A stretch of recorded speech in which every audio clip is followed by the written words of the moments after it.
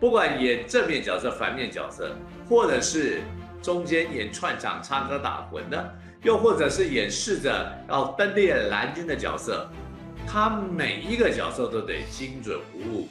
如此一来啊，才能真的逼真，而且让观众信以为真。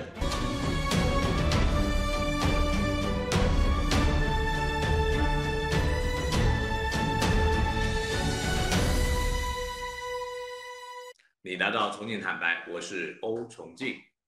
如果我们认为在台湾的选举啊，是三个党或四个党在参与大选，而且提名机制呢，应该就是三组或四组呢，他们各自提名各自的。如果您是这样想，那朋友，你可能想错了。但错可不在您的脑袋里。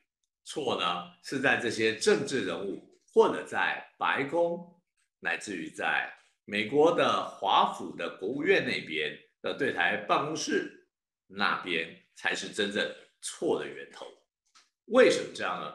简单的说，美国长期的对台湾做长臂管辖，而且通过军火的买卖、武器的买卖，还有许多国会议员的进进出出，再加上他们。搞各种台湾关系法、台湾旅行法、台湾保证法这些相关手段，来和台湾的政治人物来来往往。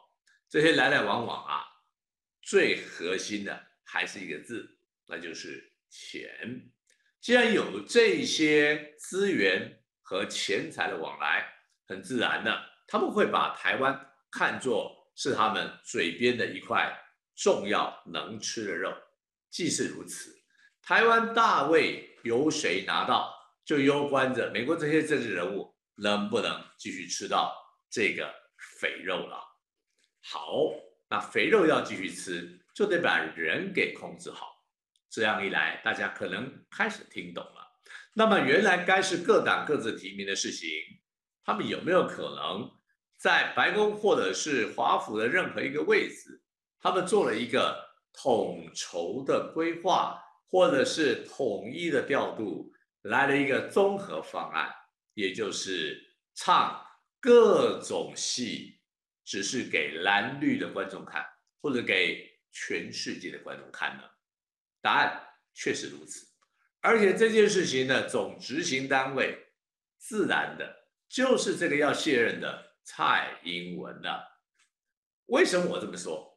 老实说，蔡英文他确实不是一个脑袋太好的人，因为啊，他光是他伪造博士论文在目录页就伪造了错了七十九处，也就打错字打错七十九处。你从这件事就看，如果一个人要伪造，要尽量的像真的，但是他伪造的如此的粗糙，就知道这个人脑袋不是太好。可是他为什么到了美国以后回来头脑变好了呢？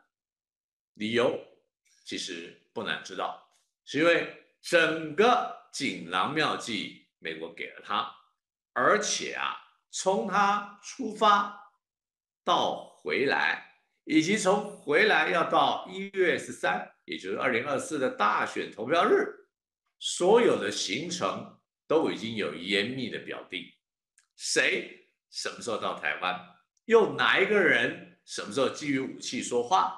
或者什么时候蔡英文以哪一个案件来抖出谁的案底，这些事情全都有彩排，这才是蔡英文他出手的真正招数来源。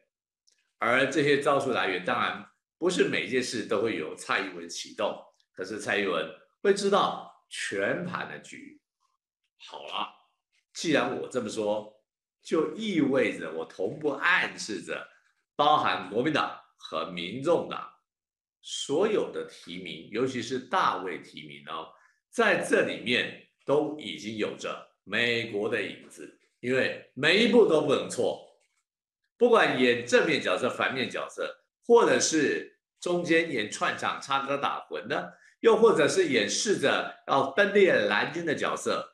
他每一个角色都得精准无误，如此一来啊，才能真的逼真，而且让观众信以为真。因为观众如果不信以为真，那蓝军一旦票忽然集中了起来，把绿军的人选给挤掉了，这如何了得呢？所以每一个演出的人都得按剧本来演，甚至互相骂对方，或者是起底对方的任何的内容，也都必须精选，要演得像，演得真。如同啊，郭台铭在骂蔡英文的疫苗案，骂的是如此的真切，看起来就好像要把蔡英文打下十八层地狱。可是真正伤到的是谁？伤到了可是民进党现在的候选人。于是大家可以看，他真正的目的是在扶植民进党，可以给出新的候选人。整个提名的真实内幕就在我给大家以上所描述的这个图像。如果您想象力够丰富，请自行再把它严密的编辑一下。感谢你的收看。